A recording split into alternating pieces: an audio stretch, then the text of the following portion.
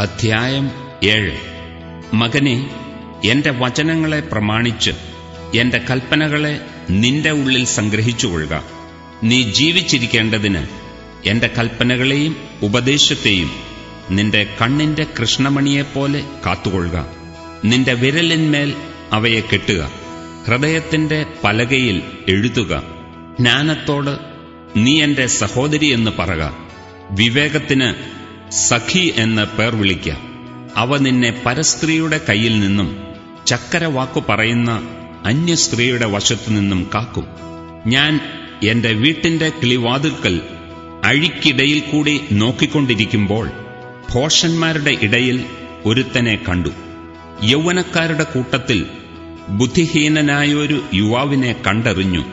അവൻ വൈകുന്നേരം സന്ധ്യാസമയത്ത് ഇരുട്ടും അന്ധകാരവുമുള്ള ഒരു രാത്രിയിൽ അവളുടെ വീട്ടിന്റെ കോണിനരികെ വീഥിയിൽ കൂടി കടന്നു.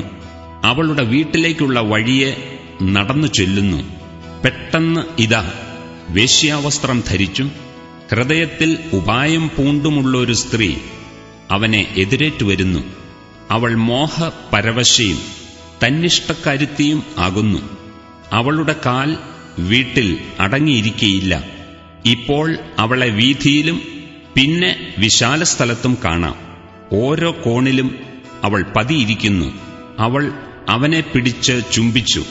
ലജ്ജ കൂടാതെ അവനോട് പറയുന്നത് എനിക്ക് സമാധാനയാഗങ്ങൾ ഉണ്ടായിരുന്നു. ഇന്ന് ഞാൻ എന്റെ നേർച്ചകളെ കഴിച്ചിരിക്കുന്നു. അതുകൊണ്ട് ഞാൻ നിന്നെ കാണുവാൻ ആഗ്രഹിച്ചു.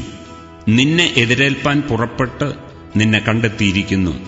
ഞാൻ എന്റെ കട്ടിലിന്മേൽ പരവതാനികളും മിശ്രൈമ്യ നൂൽ കൊണ്ടുള്ള വരിയൻ പടങ്ങളും വിരിച്ചിരിക്കുന്നു. മൂറും അകിലും ലവംഗവും കൊണ്ട് ഞാൻ എന്റെ മെത്ത സുഗന്ധമാക്കിയിരിക്കുന്നു. വരിക വെളുക്കും വരെ നമുക്ക് പ്രേമത്തിൽ രമിക്കാം. കാമവിലാസങ്ങളാൽ നമുക്ക് സുഖിക്കാം. പുരുഷൻ വീട്ടിലില്ല ദൂരയാത്ര പോയിരിക്കുന്നു. പണമടിശീല കൂടെ കൊണ്ടുപോയിട്ടുണ്ട്. പൗർണമാസിക്ക് വീട്ടിൽ വന്നെത്തുകയുള്ളൂ. ഇങ്ങനെ ഏറിയൊരു ഇമ്പവാക്കുകളാൽ അവൾ അവനെ വശീകരിച്ച് അധര മാധുര്യം കൊണ്ട് അവനെ നിർബന്ധിക്കുന്നു. അറുക്കുന്നിടത്തേക്ക് കാളയും ചങ്ങലയിലേക്ക് ഭോഷനും പോകുന്നത് പോലെയും പക്ഷി ജീവഹാനിക്കുള്ളതെന്നറിയാതെ കണിയിലേക്ക് ബന്ധപ്പെടുന്നത് പോലെയും കരളിൽ അസ്ത്രം തറയ്ക്കുവോളം അവൻ അവളുടെ പിന്നാലെ ചെല്ലുന്നു. ആകയാൽ മക്കളെ എന്റെ വാക്കു കേൾപ്പീൻ. എന്റെ വായിലെ വചനങ്ങളെ ശ്രദ്ധിപ്പീൻ.